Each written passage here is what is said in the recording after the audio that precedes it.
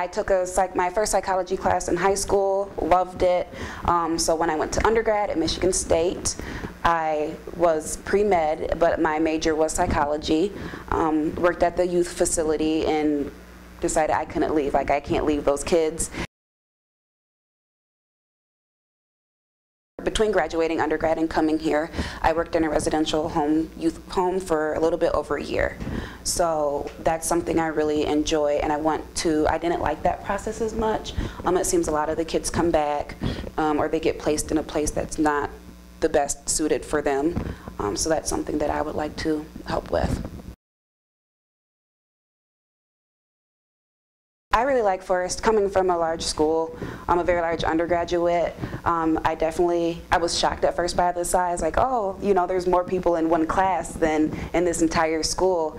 And, um, but that's something I really do enjoy. You can just talk to the professors whenever they know you. Um, you do have easy access to your advisors. The students are really nice. The older students are helpful, which is something you never had in undergrad. So it's like a nice community sense, especially being so far away from home. It was like it was real. It wasn't something that was just correspondence through paper, through email. Um, it gave me a sense of somewhere where I would be spending a significant part of my time. Um, just finishing my first year, you know, I still have many years left ahead of me. So it really gave me the sense of, okay, this is what I'm going to be doing. I can see myself walking through the halls. I can see myself being, you know, driving in the streets or living in these apartments. And of course, they were um, all very helpful too in helping us to get to know um, different parts of Forest and different parts of Springfield. It's very valuable, the fact that it's our clinic and we don't have to pull strings to try to get information and try to get things. They know us, um, it belongs to us, so it's kind of an easy access. Um, and with everything going, around, um, going on, we don't need, in grad school, we don't need um, our practicum experience, especially our first practicum experience, to be something that's so difficult. Signing up for summer classes, making sure we, I got the, the times and the dates that I wanted. We stood in line for a long, long time for hours. And before the school opened, we were outside playing card games and doing homework and um, playing frisbee. So that was kind of funny.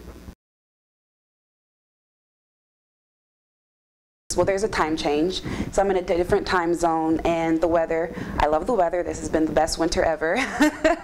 um, only having it snow a couple times instead of a good six months of the year. Um, I like Springfield. The people of Springfield in general are very nice, um, and I didn't realize how nice they were until I went back home, and I was like, wow, you know, I get doors held open and people speak, and so it's really nice and friendly here, so I enjoy it. make friends. That was something that was big for us at the beginning.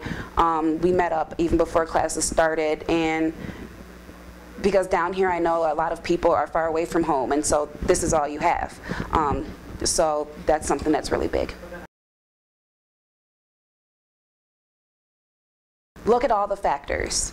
Um, I was always one, I didn't think like, oh, I just, I don't care if it's in a certain place or what the cost is, but then when I really started to boil everything down, you do care, you, this is where you're gonna spend a good amount of time. So you do care about those small details. So make sure that you definitely look um, at the details of wherever the school that you want to attend.